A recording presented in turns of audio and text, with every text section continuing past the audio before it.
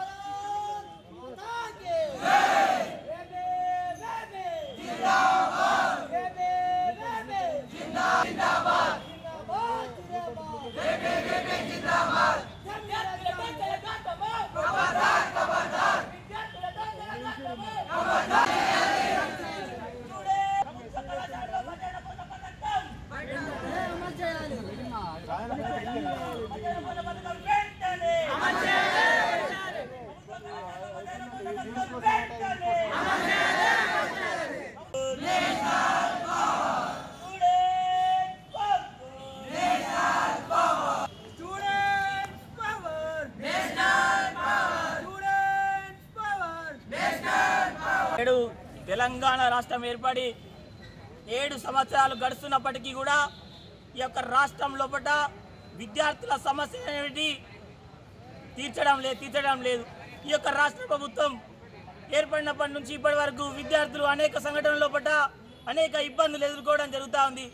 ఈ యొక్క రాష్ట్ర ప్రభుత్వం ఏర్పడినప్పటి నుంచి కూడా ఈ యొక్క ఫీజు ఎంబర్స్మెంట్లు స్కాలర్షిప్లు మీద ఆధారపడి రాష్ట్రం లోపల పన్నెండు లక్షల మంది విద్యార్థులు అభ్యసిస్తుంటే ఈ యొక్క రాష్ట్ర ప్రభుత్వం ఫీజు ఎంబర్స్మెంట్లు స్కాలర్షిప్లు సకాలంలో విడుదల చేయని కారణంగా అనేక మంది విద్యార్థులు ఈ యొక్క పై చదువులకు దూరం అయ్యే పరిస్థితి నెలకొన్నది.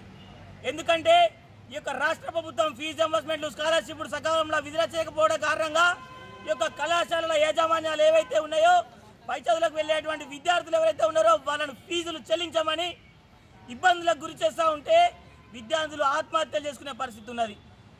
ఒక దుర్ఘటన ఈ యొక్క మన వనపర్తి జిల్లాలో పడ్డ బీటెక్ సెకండ్ ఇయర్ చదువుతున్నటువంటి లావణ్య అనే విద్యార్థిని ఈ యొక్క ఫీజు ఎంబర్స్మెంట్ ఫీజులు చెల్లించలేక తను ఆత్మహత్య చేసుకోవడం జరుగుతూ ఉంది. ఈ యొక్క రాష్ట్రం కోసం ఎవరైతే విద్యార్థులు ఆత్మహత్య చేసుకున్నారో వాళ్ళ యొక్క తెలంగాణలో ఉన్నటువంటి విద్యార్థుల భవిష్యత్తు కోసం అనేక ఉద్యమాలు చేసి వాళ్ళ ప్రాణత్యాగం చేస్తే నేడు వాళ్ళ త్యాగాల పునాదులమైన ఏర్పడినటువంటి ఈ యొక్క ప్రభుత్వం నేడు వచ్చినాక కూడా ఈ యొక్క విద్యార్థుల జీవితాలతో చిలకటమాడుతున్నది ఎవరైతే ఒక ఫీజు కట్టలేక ఆత్మహత్యలు చేస్తున్నటువంటి విద్యార్థులు ఎవరైతే ఉన్నారో వాళ్ళకు సంబంధించినటువంటి పూర్తి బాధ్యత ఈ యొక్క రాష్ట్ర ప్రభుత్వమే వహించాలి.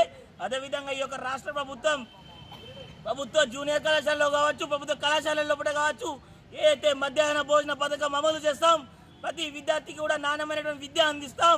కేజీ టూ పీజీ ఉచిత విద్య అందిస్తాం అని చెప్పేసి హామీలు ఇచ్చి నేడు ఆ యొక్క హామీలను విస్మరించి ఈ యొక్క రాష్ట్రంలో ఉన్నటువంటి విద్యార్థులందరినీ కూడా ఈ యొక్క రాష్ట్ర ప్రభుత్వం విశ్వసించడం జరుగుతూ ఉంది.